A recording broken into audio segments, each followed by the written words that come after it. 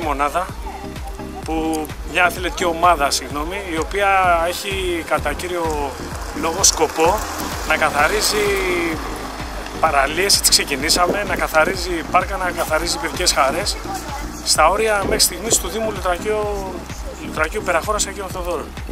Σκοπός μας είναι να επεκταθούμε, σκοπός μας είναι η ευαισθητοποίηση και ε, η κοινωνική δράση, γιατί η δράση δεν είναι ένα και δύο άτομα, όλοι μπορούμε να δράσουμε, ο καθένας με τον δικό του τρόπο.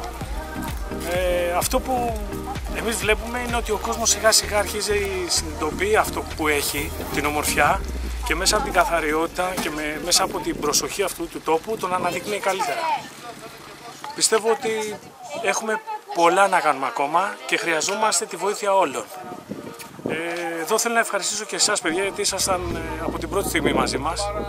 Η αλήθεια είναι αυτή ότι με τα άρθρα σας, με οτιδήποτε μπορείτε κι εσείς, μας κάνετε αυτό το έργο ακόμα πιο σημαντικό, ακόμα πιο ωραίο.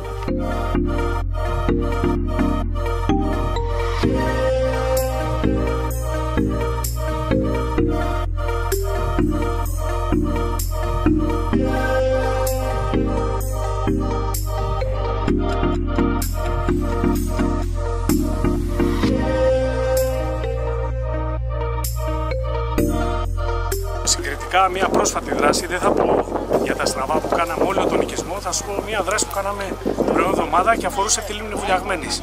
Πέρυσι είχαμε πάει, είχαμε κάνει σχεδόν ένα πολύ μεγάλο κομμάτι της λίμνης, το οποίο είχε μια απόσταση τουλάχιστον 2 χιλιόμετρα ενώ δεν είχαμε πάει από πέρσι, πήγαμε φέτος και σε σκουπίδια σε πληροφορώ ότι ήταν πολύ ικανοποιητικά τα επίπεδα. Δηλαδή ο κόσμος έχει αρχίσει να ευαισθητοποιείται, προσέχει.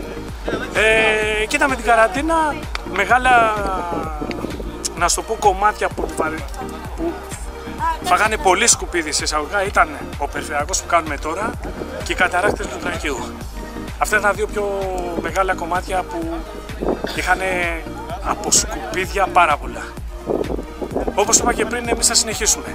Δηλαδή και μέσα από τον κόσμο που μας παροτρύνει, παιδιά, εκεί να κάνετε μια δράση, παιδιά, εκεί σας χρειαζόμαστε, εμείς θα είμαστε εδώ και θα κάνουμε σχεδόν όπου μας ζητάνε.